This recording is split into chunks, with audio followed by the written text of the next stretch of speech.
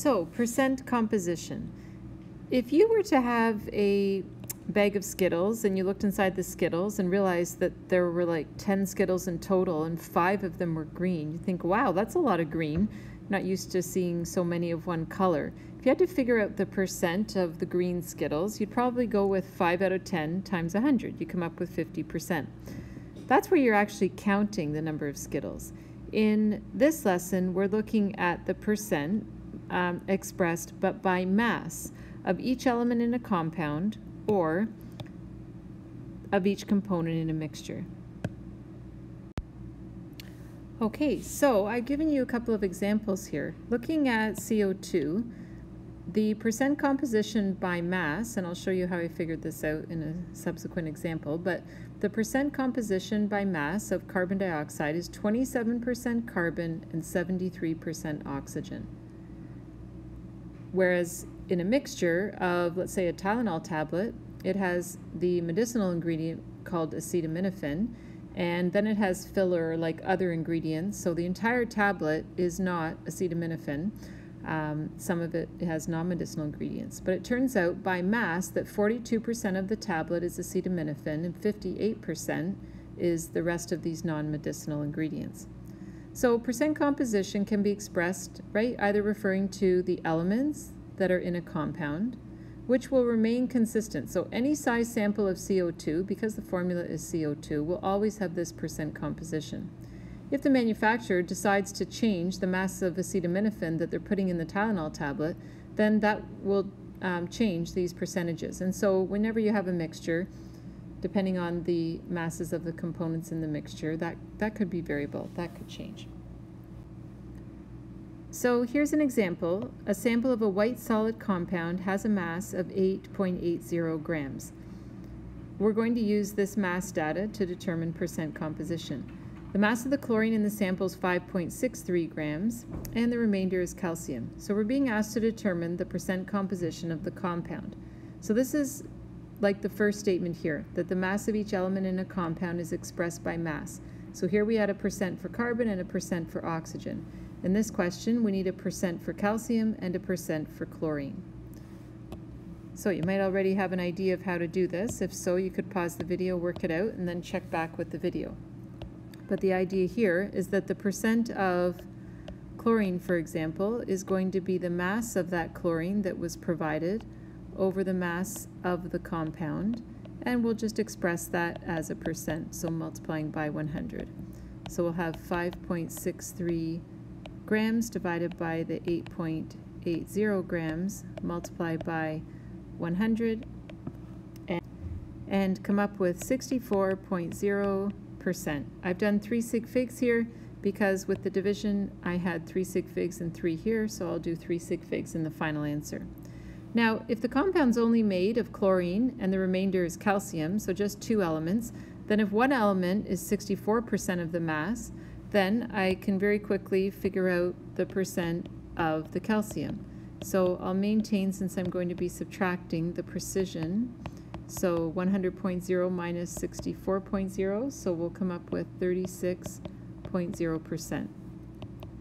So therefore the percent composition of this compound is can be stated. And so we have the composition being 36.0% calcium and 64.0% chlorine. So that was for a pure, compound, uh, pure substance, a compound. Now, here's a question about the Tylenol tablet. So the tablet's a mixture, a mixture of acetaminophen plus other non-medicinal ingredients.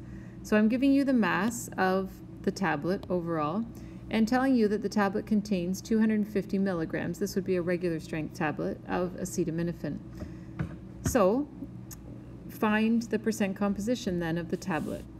So ultimately I'm looking for you to state the percent of acetaminophen in this mixture and the percent of the non-medicinal ingredients. So give it a shot and then check back.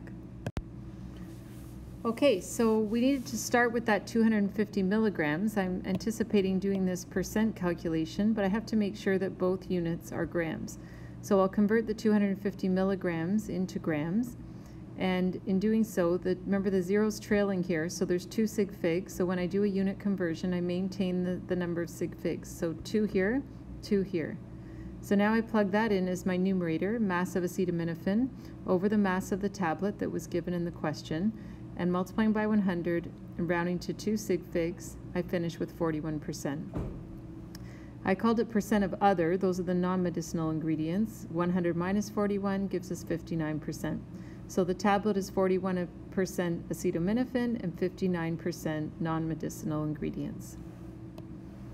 Okay, so percent composition can be determined as I have by mass data there, but it can also be determined by using molar mass data.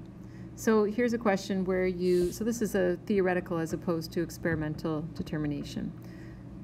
So determine the percent composition of potassium permanganate, KMNO4.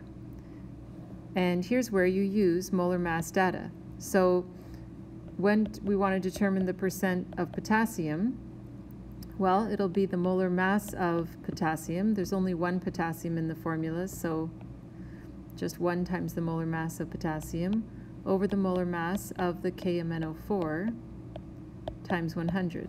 When we need to do that for the manganese, the subscript is also a 1 there. Um, if we were going to do it for the oxygen, I'll just show an example here, the percent of oxygen would be 4 times the molar mass of oxygen over the molar mass of the KMNO4 times 100. So just be careful that you use the subscript right here and incorporate that into your numerator. So 1 times the molar mass of potassium really was just the molar mass of potassium. And so if we plug in the 39.10 and calculate the molar mass of KMNO4, we should come up with 158.04. So both of these units are grams per mole, and they'll cancel as we go. And then multiply by 100, coming up with 24.74%. Now why don't you go ahead and do that? I mean, I chose to do oxygen next just to show you how the subscript of 4 would be incorporated into the question. But you could do the percent of manganese and then just subtract from 100 for the oxygen. But I'll do it with the oxygen just so that you can see how that subscript of 4 played into the calculation. And so we're at 40.50% oxygen. So to look for the remaining percent of manganese, we could do the same calculation we've been doing, or just recognizing that we have the other elements, we can go ahead and subtract the, the sum of those percents to find the difference from 100. And so we'll finish with 34.76% manganese.